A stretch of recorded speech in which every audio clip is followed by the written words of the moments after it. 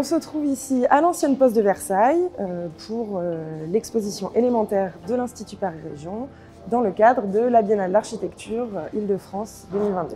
Donc ici, ça va être notre chantier de maquette végétalisée avec tous les modules de la maquette que l'on a ensemencés.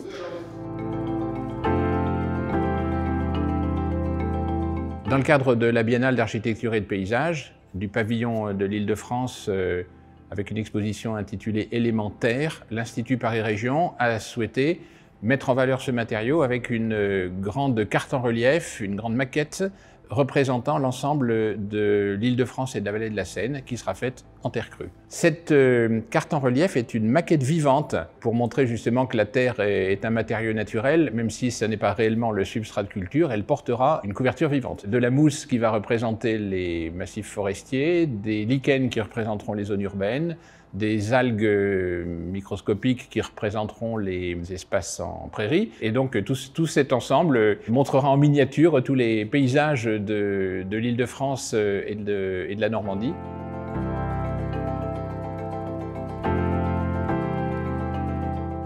Il y a un an, j'ai été contacté par l'Institut Paris Région sur un projet de maquette vivante avec des, mousses et éventuellement d'autres organismes euh, vivants en surface de, ce projet-là. Les mousses se développent sur quasiment à la surface du monde, sur tous les types de supports, mais nous, euh, artificiellement, est-ce qu'on est capable de reproduire cette culture?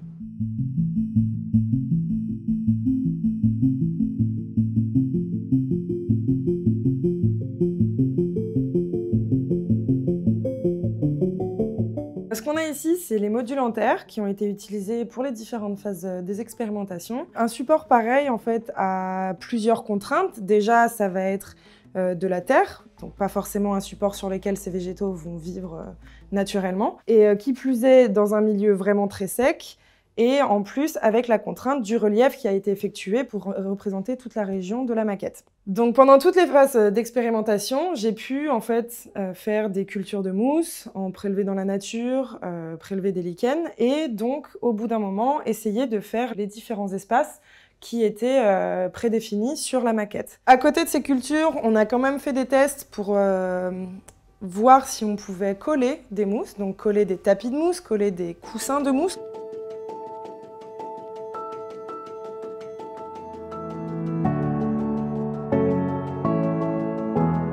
Pour coller les mousses, on a utilisé une colle d'amidon, comme pour euh, la même colle qui a été utilisée pour les lichens.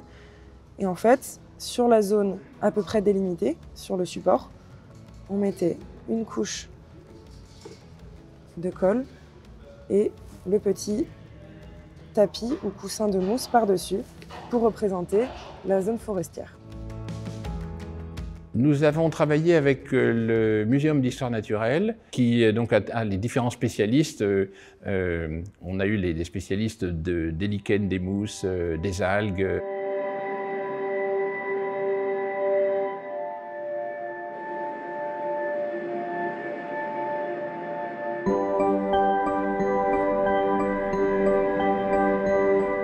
Tant qu'algologue, ce projet m'a paru euh, très intéressant, de par sa complexité, par la nouveauté qu'il représente. Pour représenter euh, les zones de prairie, on a donc voulu euh, travailler avec des algues, des algues qu'on a cultivées en laboratoire. Tout le travail a été de savoir comment faire tenir ces algues sur un support en terre sèche comme celui-là. Donc pour cela, en fait, on a décidé de les concentrer au maximum. Donc elles sont sous forme liquide, de les concentrer et de les étaler au pinceau euh, comme si on, peignait sur une toile.